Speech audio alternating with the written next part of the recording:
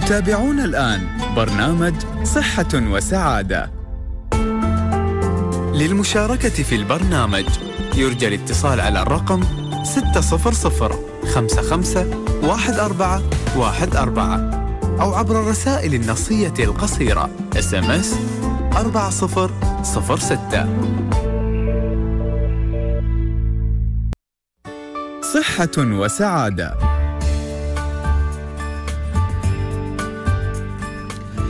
بسم الله الرحمن الرحيم والصلاة والسلام على أشرف المرسلين سيدنا محمد وعلى آله وصحبه أجمعين اللهم اشرح لي صدري ويسر لي أمري واحلل عقدة من لساني يفقه قولي السلام عليكم ورحمة الله وبركاته أعزائي المستمعين وأسعد الله أوقاتكم بكل خير وأهلا ومرحبا بكم في حلقة جديدة من برنامجكم صحة وسعادة. صحة وسعادة برنامج تقدمه لكم هيئة الصحة بدبي بالتعاون مع مؤسسة دبي للإعلام وعبر إذاعتكم المميزة دائما إذاعة نور دبي. وفي هذا البرنامج يعني نفتح أبواب التواصل معكم مستمعين لاستقبال آرائكم ملاحظاتكم آه، اقتراحاتكم كل ما من شأنه أن يساهم في تطوير الخدمات التي تقدمها هيئة الصحة عبر مستشفياتها وعبر مراكزها الصحية الأولية والمراكز الطبية المتخصصة كذلك. فاللي عنده أي ملاحظة أي اقتراح أرقام التواصل معنا 600 55 1414 أو عن طريق الرسائل النصية على كم عيسى؟ 4006 صح؟ يا سلام عليك. إذا مخرجنا اليوم عيسى سبيل. عيسى طولت ويانا شوف كل يوم ويانا. ها؟ إن شاء الله دوم دوم ويانا بالعكس نتشرف دائما بوجودك. وأيضا في التنسيق معنا المبدعة ميرا الغفلي. صبحكم الله بالخير جميعا. واليوم عندنا يعني موضوع وايد مهمة نطرحها في آه، حلقتنا اليوم. نتكلم عن تمكين أصحاب الهمم من الرعاية الصحية الفائقة. ها؟ هذا الموضوع الرئيسي لكن هذا ما نفتح إن شاء الله بعد الفاصل.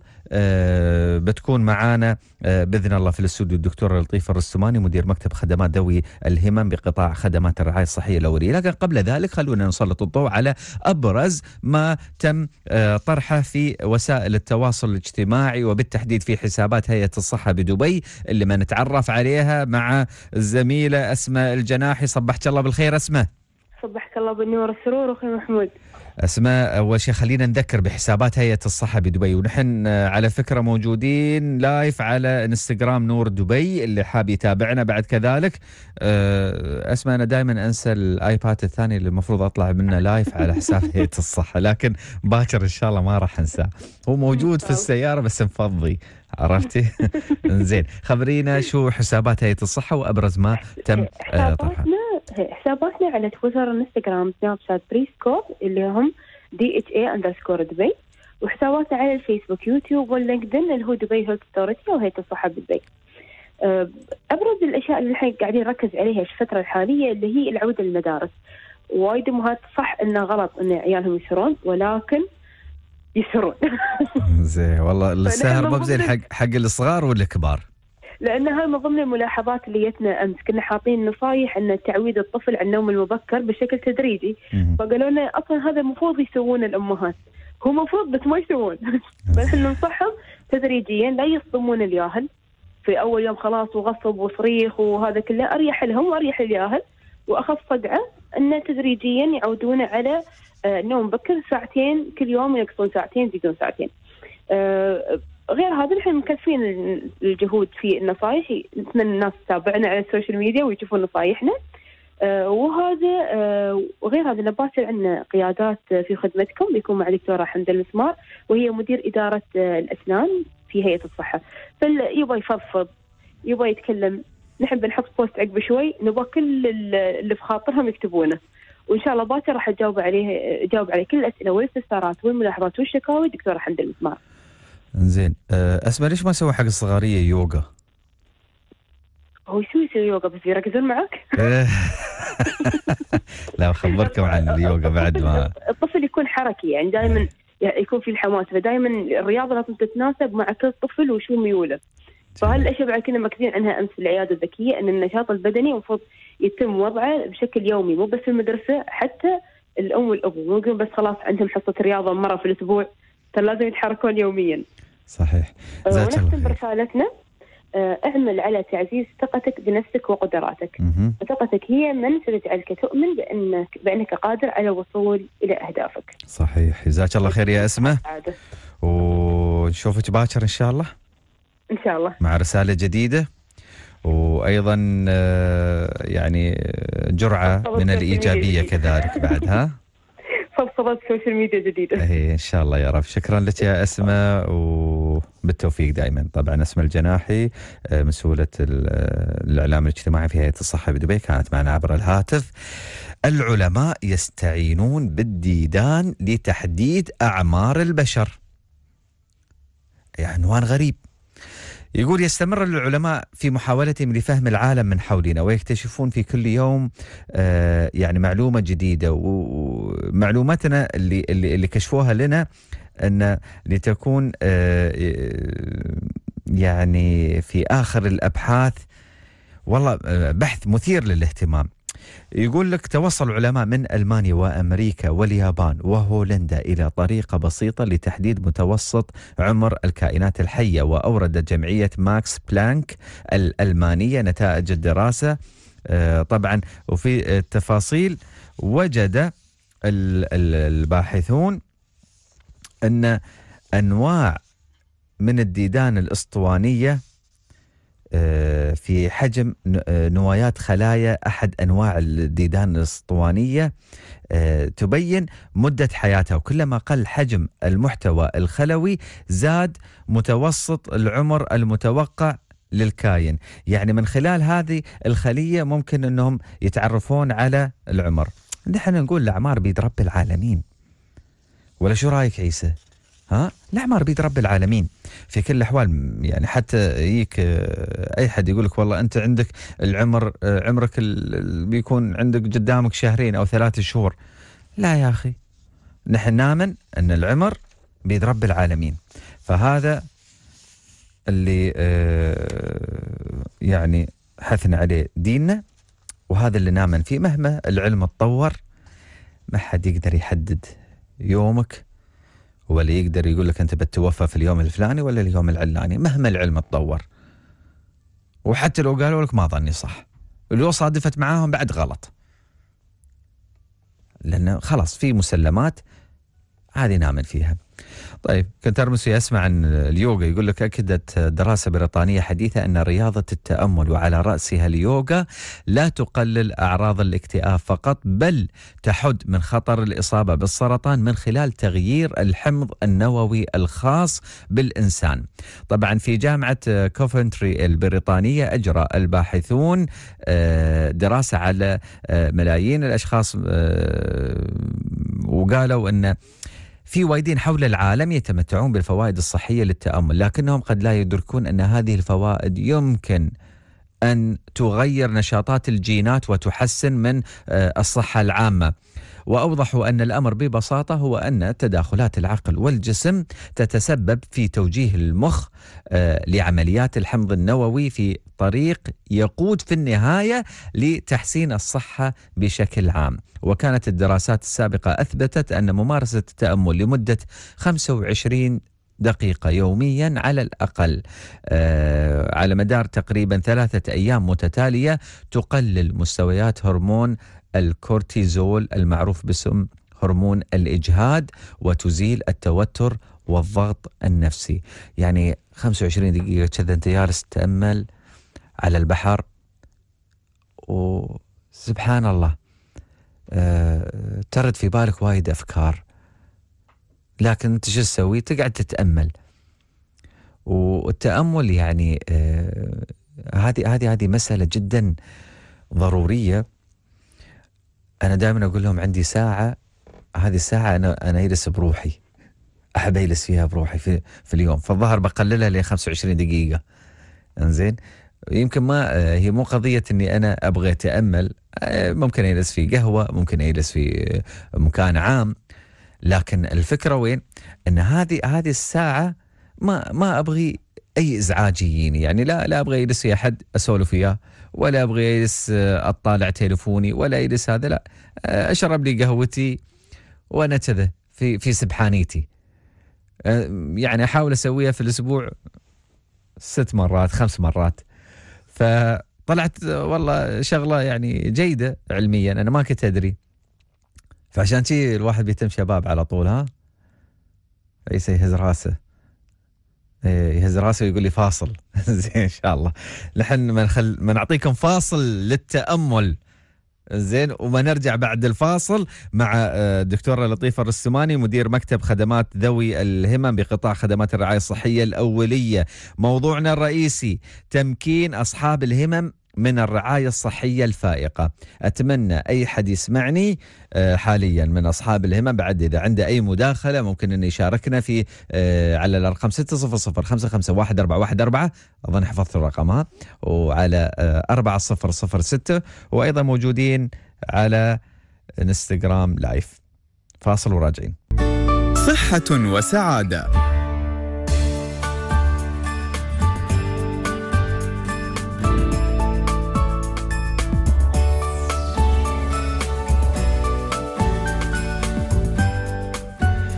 سعد الله أوقاتكم مرة أخرى مستمعينا الكرام حياكم الله معنا في برنامجكم صحة وسعادة هذا البرنامج اللي تقدم لكم هيئة الصحة بدبي بالتعاون مع مؤسسة دبي للإعلام وعبر إذاعتكم المميزة دائما إذاعة نور دبي. طبعا آه، كنت أتكلم عن عن رياضة اليوغا فجتني رسالة تقول إن آه، بلدية دبي في آه، مكتباتها العامة تسوي في كل ويكند يعني مثل كلاسات يوغا. بس ما أعطوني التفاصيل. آه، لأن البرنامج فصل ورديت مرة ثانية فما ما حصلت التفاصيل. فإذا كنت تسمعينه ابعثي لنا التفاصيل ما ندعي الناس. ليش لا؟ يسوون كل ويكند يوغا ما أدري ببلاش مسوينه مو ببلاش الدعوة عامة في للنساء ولا للنساء والرجال ولا يعني نبغي نبغي نعرف التفاصيل. إذا حد من بلدية دبي بعد يسمعنا يخبرنا. ممكن يتداخل ويانا بالعكس هذه شغلة. من حث الناس إنهم آه، يروحون عليها. عموما قلنا أن اليوم حلقتنا بتتحدث عن تمكين أصحاب الهمم من الرعاية الصحية الفائقة. هيئة آه، الصحه في دبي قطعت شوط مهم على طريق يعني أعمال التطوير الشامل المتصل باستراتيجية دبي لأصحاب الهمم. وبالتحديد المحور الرئيسي الخاص بالصحة وإعادة التأهيل. واللي تستهدف الهيئة من وراء توفير الرعاية الصحية آه، الوقائية الشاملة وعالية الجودة لأصحاب الهمم. وأيضا توفير جميع الأدوات والتجهيزات الحديثة المرتبطة بالفحص والتدخل المبكر التدخل المبكر لتقييم ودراسة الاحتياجات الصحية لهذه الفئة المهمة من المجتمع فضلا عن تمكين ذوي الهمم من خدمات رعاية صحية آه، من خدمات الرعاية الصحية وتأهيل آه، يعني متخصص ومنخفض التكلفة. كل هذه الأمور حقيقة أنا يمكن ما كنت أعرف أن عندنا برنامج قوي مثل هذا في هيئة الصحة. ف بتعرفنا أكثر عن هذا البرنامج دكتورة لطيفة آه، الرستماني مدير مكتب خدمات ذوي الهمم بقطاع الرعاية الصحية الأولية. صبحك الله بالخير دكتورة وجربي من المايك. عيسى إذا بس ساعدنا بس آه، في عملية آه، أن نضبط المايك حق الدكتورة. دكتور أنا ما كنت أعرف إن عندنا أصلا مكتب لخدمات أصحاب ذوي الهمم. ما يعني في مجهود كبير أنتم تقومون فيه. أنا ما كنت أعرف عنه وسبحان الله تعرفت عليه بالصدفة. فأبغي أعرف وعرف الناس أول شيء انه آه إذا جينا نتكلم عن اهتمام دبي البالغ بأصحاب الهمم كانت هنالك استراتيجية وتوجيهات واضحة من سيدي آه سمو الشيخ حمدان آه بن محمد بن راشد آل مكتوم ولي عهد دبي في هذا الإطار وهو الداعم الأبرز والأكبر لهذه الفئة من المجتمع. وعنده العديد من الأقوال ممكن نحن آه، نسردها وعنده العديد من آه، الإنجازات في هذا المجال. ولكن خلينا نتكلم عن هذا الاهتمام البالغ بأصحاب الهمم. آه، السلام عليكم صباح النور. أولا أحب أشكركم أحب أشكرك أستاذ محمود على هالدعوة. طبعا المكتب كمكتب خدمات أصحاب الهمم في الرعاية الصحية الأولية هو مكتب استحدث جديد. تقريبا صار له شهر. لكن مبادرة مجتمعي مكان الجميع واستراتيجية دبي ذوي الإعاقة موجودة من فترة. آه، هي طبعا آه، من منطلق مبادرة آه، مجتمعي مكان الجميع اللي أطلقت في سنة 2013 أطلقت اللي هي لجنة العليا لحقوق الأشخاص ذوي الإعاقة. ومن منطلق هاي اللجنة تم إصدار استراتيجية الأشخاص ذوي الإعاقة. طبعا تحت استراتيجية الأشخاص ذوي الإعاقة في عدة محاور. هيئة الصحة هي مسؤولة عن محور الصحة الدامجة. تحت هذا المحور في عدة برامج. عندنا برنامج الكشف مثل ما ذكرت برنامج الكشف المبكر عن الإعاقة. في عندنا برنامج آه، تشخيص وتدخل المبكر في عندنا برنامج آه، إعادة التأهيل. برنامج اللي هو الريجستري اللي هو آه، سجل ذوي الإعاقة وبرنامج المنافع وإمكانية إدراج برامج إعادة التأهيل في التأمين الصحي. وعندنا برامج إعادة تأهيل لجميع فئات ذوي الإعاقة. وهو طبعا هالاستراتيجية نعمل عليها من تقريبا حاليا سنتين وفي بعض الأشياء مثل ما قلت طبقت والحمد لله يعني آه، بدينا نشوف نتائج لهاي البرامج. ممتاز، طيب آه يعني مدى اتساق خطة الهيئة وبرامجها اللي انت طرحتيها من شوية مع الرؤية العامة آه، بشأن ذوي الهمم هو طبعا مثل ما قلنا الرؤية العامة هو الهدف العام الكبير اللي هو أن مدينة دبي تتحول لمدينة صديقة للأشخاص آه، من أصحاب الهمم بحلول عام 2020 وهيئة الصحة في من ضمن استراتيجية هيئة الصحة ضمت هذه البرامج ضمن الاستراتيجية آه، هيئة الصحة. وحتى آه، تعطينا أمثلة دكتورة إذا يحضرت شيء يعني شو شو البرامج اللي أنتم سويتوها وحطيتوها ضمن هذه الخطة؟ مثلا برنامج الكشف المبكر هذا طبعا يعتبر من أهم البرامج. لأن أي أول خطوة من آه، خدمات المقدمة لذوي الإعاقة هو الكشف المبكر. ممتاز. لما أنت تكتشف آه، آه، أي نوع من التأخر النمائي أو الإعاقة بشكل مبكر خصوصا في الأطفال في سن مبكر أنت تقدر تأهلهم لحد أنهم يكون عندهم القدرات والمهارات اللي يقدرون فيها يدخلون المدارس ويكونوا مساوين في أقرانهم. هذا موضوع وايد مهم دكتور أنا أبغى أبغى أركز عليه بشكل كبير موضوع الكشف المبكر. لأن يعني أحيانا مو أحيانا دائما يعني الواحد يوم يشوف يعني بعض التصرفات الغريبة على ولده أو كذا يروح عند الدكتور يقول له والله ولدك عنده آه، بطء مثلا في النطق ولدك عنده آه، مشكلة كذا. ما أولياء الأمور ما يستوعبون هذه المسألة آه خاصة يعني حتى حتى آه إذا إذا كانت اليد موجودة تقول لا لا ما في إلا العافية. يعني ما في آه ما في مشكلة إن شاء الله ما في كذا. فيتأخرون في عملية إن ال ال يدخلون العيال في في موضوع الكشف المبكر أو إنه ممكن الأهالي يستوعبون أن الطفل بالفعل عنده مشكلة آه أو تأخر معين. في الاستيعاب في الإدراك في الفهم. ممكن هذه الأمور تأثر عليه بشكل أو بآخر حتى توصله على على على يعني أمراض. ممكن آه، الحين بديت تنتشر. الناس بدأوا يشوفونها بشكل كبير مثل التوحد. هذه أمراض آه، الواحد ممكن يشوفها. فكل هذه المسائل دكتورة أنا أبغي أتطرق لها بالتفصيل. أبغي أعرف يعني متى الواحد المفروض يخضع ابنه أو بنته للكشف المبكر. آه، طبعا آه، برامج الكشف المبكر آه، مثل كشف مبكر عن أي أمراض مثل ما يقولون الوقاية خير من العلاج. تبدأ بالبداية بالوقاية. لازم الأم لما تكون طبعا تكون حامل من البدايه تبدأ إنها تهتم بصحتها ما تأخذ الأشياء المحظورة. إذا عندهم أي أمراض في العائلة سواء توحد أو أي اعاقات ثانية شلل دماغي أو أي شيء تكون حريصة من البداية إن هي تراجع عند طبيبة الحوامل تراجع عند الأخصائيين. وبعدين لازم الأهل يكون عندهم آه، خلفية. يعني مثل ما إحنا بس مو بس إحنا الأهل اللي يركزون على إنهم يجيبون الطفل لازم يكون عندهم معلومات كاملة وثقافة شاملة عن نمو الطفل. في أي عمر المفروض يتكلم في أي عمر المفروض يمشي. في أي عمر المفروض يبدأ يفهم يبدأ ينتبه على الأهل يبتسم يطالع يركز. لازم يكون عندهم معلومات شامله طبعا آه، كل المواليد المولدون مولدون في المستشفيات تكون لهم كتيبات.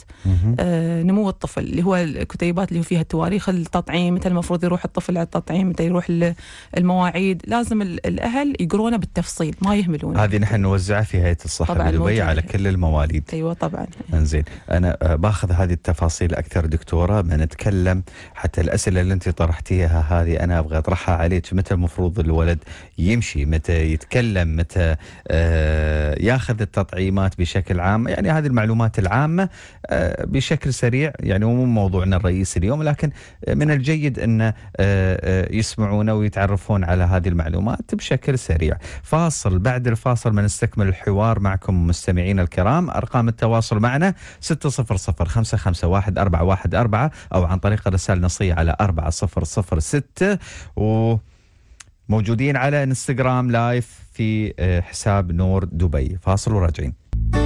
صحة وسعادة.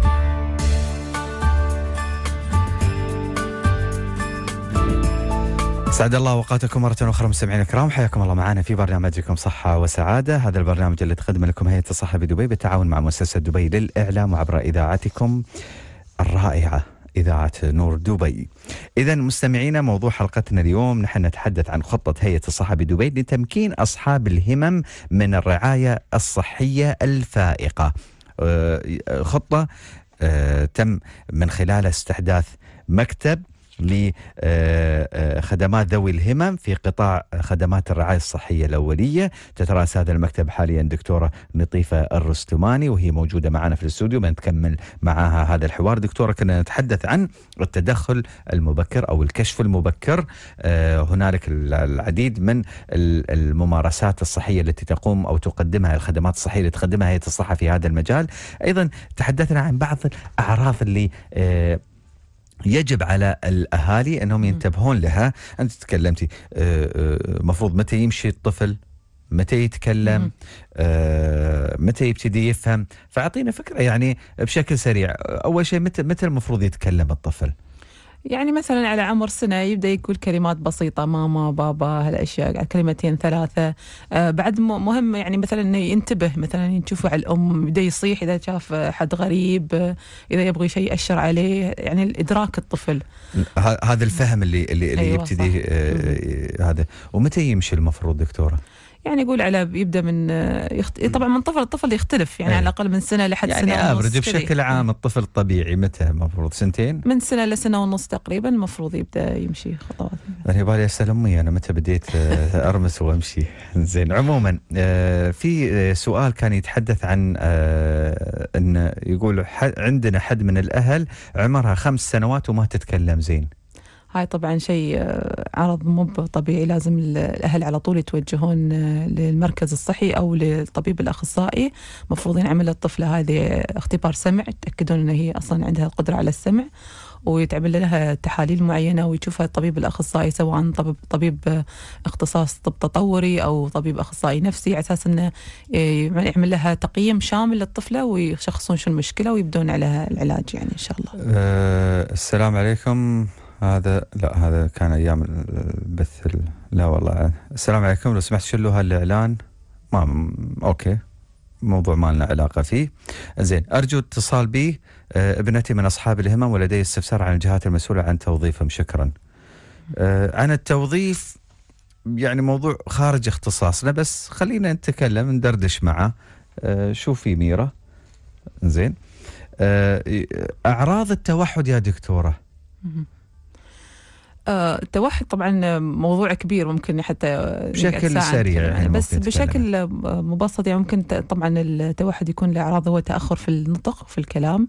يكون في صعوبة في التواصل الاجتماعي يكون في حركات معينة الطفل يكررها حركات نمطية مكررة آه، ممكن ما يكون في eye contact اللي هو تواصل البصري يعني okay وهذه متى الواحد أو الأهل ممكن آه، يعني يلاحظون أو الأم بالتحديد آه، هو عندنا في آه، مراكز الرعاية الصحية الأولية عندنا برنامج الكشف؟ المبكر برنامج الكشف المبكر عن التوحد كل okay. الأطفال اللي بعمر سنة ونص إلى سنتين يعمل لهم. هذا الكشف المبكر ال- المركز يسوي أيوه المراكز الصحية تعمل هذا الكشف وايد مهم إن الأهالي يعني يلتزمون بهذا البرنامج. طبعا عندنا برنامجين للكشف المبكر عندنا كشف إلزامي هذا دكتورة؟ طبعا لكل الأطفال الكشف المبكر عن توحد من عمر سنة ونص إلى سنتين وعندنا الكشف المبكر عن التاخر النمائي اللي هو جميع أشكال التأخر النمائي في عمر تسع شهور سنة ونص وسنتين أنا أحب أشكر طبعا وحدة خدمات صحة الطفل اللي يقومون بالإشراف على هاي البرامج كلها. مجهودات طبعا جبارة و- ويقومون حتى على تدريب الكادر الطبي من أطباء وممرضين على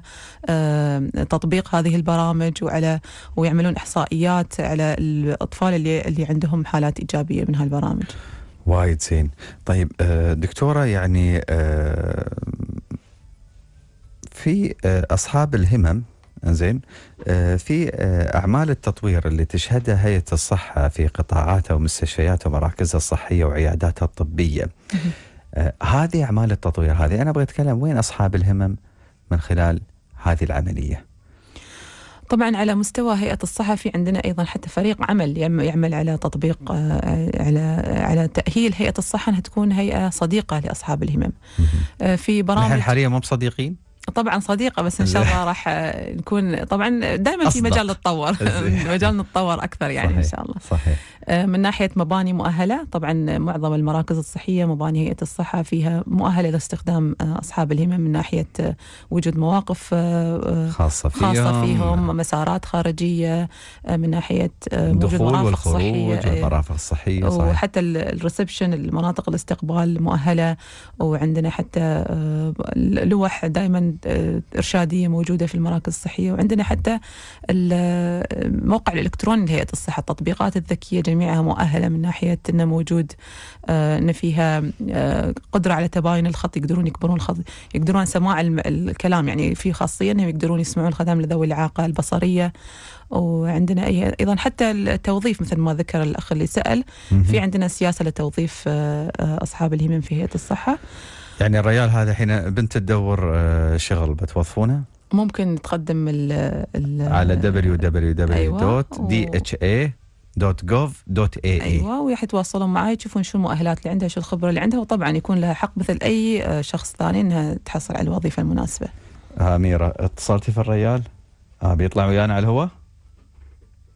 ما سمعت أي زين عيسى خبرني شو شو اللي تقوله أميرة زين إذا بيطلع ويانا على الهواء ولا خبرني. زين طيب أه حاليا آه، دكتورة عندك إحصائيات وأرقام عن عدد أه الأشخاص من ذوي الهمم في الهيئة اللي يشتغلون معانا؟ آه، اللي يشتغلون عددهم كبيره يمكن تقريبا آه، 20 إلى 25 شخص حاليا وإحنا إن شاء الله نعمل على ان آه، يكون عندنا آه، حالات أكثر. طبعا حسب اختصاصهم حسب المؤهلات اللي عندهم ونحاول ندخلهم في كل المجالات. طبعا آه، ممتاز. آه، ال- ال- المستمعة اللي بعثت لنا الرسالة عن بنتها يعني كنت أتمنى أنها تكون معنا على الهواء بس هي عندها تحفظ أن هي تطلع على الهواء لكن آه، كنت أنا أبغي أسأل عن عن عن التجربة هذه. تجربة أن الواحد آه، يكون ابنه من آه، ذوي الهمم أو بنته من ذوي آه، من ذوات الهمم وكيف يتعامل معهم؟ هل هي مسألة صعبة سهلة آه، النفسية نفسها دكتورة؟ يعني مم. للأمانة أنا عندي العديد من الأصدقاء من ذو من ذوي الهمم. أقعد معاهم أستمتع ب- بالقعدة معاهم أستمتع بالحديث معاهم أستمتع أيضا بتطلعهم للحياة. عندهم إنجازات كبيرة مهم. حققوها يمكن آه، حتى ال... أنا ما بقول الأسوياء لأن لأن دائما الفكرة دكتورة أنا بالنسبة لي الإنسان آه، السوي هو الإنسان المنجز. صح وهذيل أصحاب إنجازات. صح. زين فهم يعني أبطال أكثر حتى من ال ال ال الناس اللي العاديين مم. فأبغى أتحدث هني ال- الأهالي كيف المفروض يتعاملون مع آه، هؤلاء الأشخاص آه طبعا الأهل من أول ما يكون يكتشفون انه في عندهم شخص في العائلة تدربونهم إيه. أنتم عندنا بر... يعني ب- مراكز إعادة التأهيل تقوم. ببعض البرامج التدريبية وبعض المحاضرات التثقيفية واللي هو support groups اللي هي خاصة بأصحاب الهمم بس في بعضها موجود في بعضها إن شاء الله ضمن الخطة عندنا إحنا الله. نطبقها إن شاء الله بس وايد مهم من الأهل يثقفون نفسهم من أي مكان من سواء يسمعون من اللي, اللي عندهم خبرة في هالمجال أو من الأخصائيين يعني يدخلون بالتفصيل في حياة آه، هذا الشخص ذوي الهمة آه، طبعا لما نحن نقول مصطلح شخص ذوي همة هم اللي عندهم صح إن يكون عندهم اعاقات طويلة الأجل سواء بدنية أو عقلية أو ذهنية أو حسية لكن ما في شيء يمنعهم سواء بس إحنا نشيل بعض الحواجز مثل ما تقول بعض الحواجز سواء مسار أو أو آه، خاصية معينة لأنهم يقدرون ينتجون في المجتمع يعني. بالضبط. يعني هذه مسألة مهمة. أنا أنا بعض ال- الأمور اللي اللي ممكن إذا وفرتها حق طبعاً. آه، الشخص هذا يمارس حياته بكل آه، يعني بكل طبيعية. طيب آه، نرجع نتكلم عن آه، برنامج الكشف المبكر عن الأمراض. دكتور شو يعني التدخل المبكر والكشف المبكر؟ شو الكشف الفرق بينهم تقريبا؟ الكشف المبكر هو أنت تكتشف إن في آه، مشكلة أو في تأخر معين. طبعا هاي أول خطوة. ومو معناته ان في مشكلة يعني في تأخر أو في تشخيص معين. هو بس يكشف لك يكشف لك ان في مشكلة لازم أنت تعمل عليها. بعد الكشف المبكر تأتي مرحلة التقييم والتشخيص. يحول الطفل آه، آه، لأخصائي يقوم بالتشخيص بعمل تحاليل معينة وتقييم تقايم معينة. بعد هالمرحلة تأتي مرحلة آه، تدخل مبكر. تدخل مبكر هو مرحلة يعني مثل برامج إعادة تأهيل وبرامج علاج نطق علاج وظيفي علاج آه، فيزيائي تكون مكثفة خصوصا في مرحلة الطفولة المبكرة. لحد عشان نأهل هذا الطفل أنه يقدر يدخل مدرسة يعني آه، آه، يعني آه، يوصل للمرحلة المفروض يكون فيها مساواة بالأطفال في هذا العمر يعني. طيب أيضا دكتورة يعني آه تمكين ذوي الهمم يعني في الكثير من المبادرات اللي اللي طلعت في هذا المجال سواء حتى آه، السيد صاحب سمو الشيخ محمد بن راشد المكتوم نائب رئيس الدولة رئيس مجلس وزراء حاكم دبي آه، رعاه الله. يعني آه، كان في أكثر من من ملتقى وفي أكثر من مناسبة كان يشدد على أن هنالك سياسة وطنية لتمكين ذوي الهمم. وهو يعني وتم تغيير اسم ذوي الاحتياجات الخاصة أو ذوي الإعاقة إلى ذوي الهمم آه، بناء على آه، يعني الرؤية الثاقبة لهذه الفئة من المجتمع. إنهم هم من أصحاب الهمم. شو يعني أنا صاحب همة؟ يعني أنا إنسان منتج. صح. أنا إنسان معطي في هذا المجتمع. فحد يتحدثني آه، دكتورة ممكن يقول طيب شو المفروض علينا نحن كأفراد في المجتمع أن نسويه لدعم هذا الموضوع. مثل ما قلنا مهم البرامج التثقيفية. طبعا المعروف عالميا أن الأشخاص من آه، ذوي الإعاقة تقريبا 15% من المجتمع. يعني أي واحد منا آه، وبيني وبينك دكتور أي واحد منا ممكن يكون. معرض إن يكون آه، عنده إعاقة. صح. يعني لا سمح الله يعني الله الله يكافي الجميع الشر و... والله يعافينا يعني. لكن ال- ال- الفكرة إنك أنت يعني لا تستهين بقدرات هؤلاء الناس. صح. هذول قادرين إنهم يعطون للمجتمع أكثر مما أنت تعطي حتى. وعندهم تخصصات معينة دكتور مبدعين فيها. طبعا. فحد يت- يتحدث يقول السلام عليكم هذا بس في دبي ولا في جميع مناطق الدولة؟ البرامج هذه. آه، أنا متأكدة أن كل الإمارات تشتغل على برامج معينة لكن هاي المبادرات وهاي البرامج اللي هي خاصة بإمارة دبي. طيب آه، دكتورة ال- تمكين ذوي ال- الهمم. أنت تحدثتي أن هنالك العديد من الخطط في هيئة الصحة لتمكين آه، ذوي الهمم، خلينا نستعرض بعض ال- المشاريع والقصص قصص النجاح اللي اللي ممكن أنتم آه، شفتوها من خلال مكتب الخدمات الإنسانية أو من خلال آه، وجود بعض البرامج أنا ما تطرقت لها. آه، يعني مثل ما قلنا في برامج تحت مبادرة للمبادرات المجتمعية مبادرة اللي هو استراتيجية دبي لأصحاب الهمم. عندنا مثلا سياسات آه، سياسة الصحة الدامجة اللي هو آه، أطلق آه، طبعا هاي السياسة في المراحل النهائية أنه تضمن أن جميع الأشخاص من أصحاب الهمم يحصلون على حقهم في الصحة الدامجة في الخدمات الصحية في إعادة التأهيل على قدم المساواة مع الأشخاص الآخرين. عندنا نموذج متكامل للرعاية الصحية والاجتماعية للأشخاص آه، آه، ذوي آه، الهمم. وعندنا أيضا نعمل على نظام آه، تشخيص شامل وتطبيق تصنيف علمي يعني يكون في تصنيف لأصحاب الهمم بمختلف المجالات. ومثل ما قلنا نعمل على برامج منافع وبرامج إعادة تأهيل من مكان تدرج في التأمين الصحي. وعندنا برامج مثل ما تكلمنا عن الكشف المبكر عندنا برامج التشخيص والتدخل المبكر. إحنا حاليا نعمل على برامج للتدخل المبكر إن شاء الله راح نعلن عنها قريبا يعني. وخدمات أيضا صحة نفسية خدمات إعادة التأهيل آه، لجميع فئات جميع ال- آه، ذوي الهمم من من جميع التش- التشخيصات ومن جميع الأعمار أيضا. طيب أنا يعني هني آه، يعني بشدد على على العديد من ال- ال- البرامج اللي أطلقها آه، سيدي صاحب السمو الشيخ محمد بن راشد آه، في في في هذا الإطار.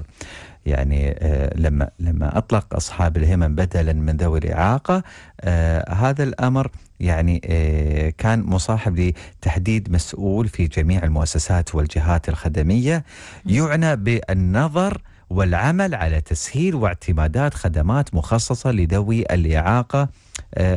ما أدري أنتم شو شو سميتوهم هني في في مكتبكم؟ كان آه، مسؤول خدمات أصحاب الهمم مثلا آه، إذا إذا إذا إذا ما نتكلم إن إن مثل ما انت تطرقت إن هنالك مسار خاص هنالك آه، آه، وضع معين لاصحاب الهمم إذا زاروا بعض مراكزنا التخصصية صح هذا الكلام؟ أيوه صح إيه. زين آه، أيضا آه، دكتورة أبغي أبغي أتحدث عن بعض المشاريع المستقبلية اللي أنتم حاطينها أو الخطط المستقبلية اللي أنتم حاطينها لدعم هذا التوجه. آه، مثل ما قلنا غير تهيئة تهيئة المباني طبعا مشكورين أحب أشكر قسم الهندسة عندنا في هيئة الصحة يعملون على هالبرنامج وعندنا أيضا برامج تدريب. آه، أنا سمعتها بس جيت هنا عشان عشان آه، بس يكون مستوى المايك يعني دكتورة. تفضلي. وعندنا برامج تدريب للكوادر الصحية وجميع موظفي هيئة الصحة. عندنا برامج تدريب موظفي هيئة الصحة على كيفية التعامل مع الأشخاص من أصحاب الهمم. كيف يتعاملون معهم كيف يستقبلونهم. وعندنا أيضا آه، آه، برامج أيضا مبادرات بالتعاون مع شراكات اخ يعني مثلا مؤسسات تعنى بأشخاص أصحاب الهمم مثل جمعية متلازمة داون، جمعية الإمارات للتوحد، المراكز الخاصة اللي تعنى بذوي الإعاقة مثل مركز زبيل التوحد، المراكز الخاصة يكون في عندنا معهم شرك شراكات سواء بتقديم خدمات صحية آه، لهم أو إن آه، بالتعاون معهم نقوم بحملات توعوية، نقوم ببرامج معينة.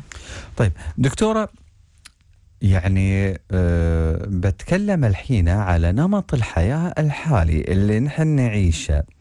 أه للأسف ما أدري يعني أه هل النمط اللي قاعدين نعيشه قاعد يساهم في وجود بعض الحالات أه آه، أو الممارسات الخاطئة التي قد تؤدي إلى أه يعني دخول الطفل في آه، اضطرابات ذهنية أو اضطرابات عقلية أو اضطرابات جسدية لا سمح الله. وشو هي الممارسات اللي المفروض الأهل ينتبهون لها ويبعدون أطفالهم عنها؟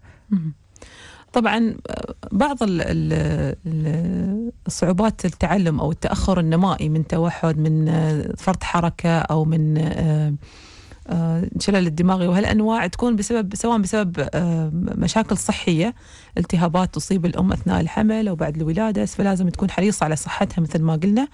وبعض الممارسات بعد ما الطفل ينولد يعني مثلا الأطفال اللي يسون فترات طويلة قدام التلفزيون أو الآيبادات المفروض يعني الأهل يحدون من هالفترة والله هذا أنا يعني أه- أشوفه كسل من قبل آه، أولياء الأمور في هذا أي. المجال لأن يبغون بس الطفل هادي يقعد صح. آه، في مكانه غلط، الطفل إذا قاعد في مكانه غلط دكتورة صح المفروض ها- يعني المفروض يتحرك ويركض ويلعب و... طفل لأن انطلق. الطفل لازم يتحرك بس أنت تحافظ على سلامته أثناء التحرك هذا. خلينا. ناخذ هذه المداخلة من عدنان. آه، تفضل يا عدنان. السلام عليكم أخوي كيف الحال؟ يا هلا يا سيدي تفضل. الله يبارك فيك بس آه، حبيت أشارك الدكتور في مجال أسألك كم سؤال. تسمعك. آه، دكتورة آه، بالنسبة للبرامج اللي تكلموا عنها هاي إعادة تأهيل معاقين هل تشمل الوافدين ولا بس المواطنين؟ أوكي. السؤال الثاني. السؤال الثاني ابني عنده آه، آه، منذ الولادة عنده آه، صرع كهرباء في رأسه زايدة وعنده فرط حركة وعنده تأخر نمو والحقيقة عم بعالجه بمستشفى لطيفة أنا عند دكتور أعصاب مهم. وعم باخذ أدوية طبعا للصرع والأمور هاي بس طبعا لأنه هو ما بيتكلم الحين صار عنده عشر سنوات الله وما. بيتكلم يعني بعض الكلمات الخفيفة يعني فحطيته في مراكز تأهيل أنا يعني بعجمان وبالشارجه صراحة يعني ال- ال- ال- المبالغ آه، باهظه مكلفه يعني عم بدفع عليه 40000 بالسنة عم باخذ عليه في في السنة لإبني. فحاليا أنا وقفته والله. أنا دخلته سنتين ثلاثة والحين بالبيت جالس الولد يعني. وعنده فرط حركة الولد يعني زيادة عن اللزوم يعني الأمور فهل في مجال إنه يعني آه في مؤسسات حكومية ممكن يعني تتبنى لها الولد يعني أو آه، يعني ولا بس للمواطنين هاي البرامج تتكلموا عنها يعني. زين. سؤال في بعد سؤال آه، عدنان؟ فابني طبعا عنده عنده إعاقة يعني إنه آه، يعني آه، إعاقة جسدية مش. إعاقة كاملة بس ما ما بيمشي عدل آه، واضح. آه، يعني مشي ومش عدل يعني وعنده تأخر في النمو وفرط حركة والأمور هاي يعني. واضح. شكرا لك يا عدنان. تسلم يا صديقي.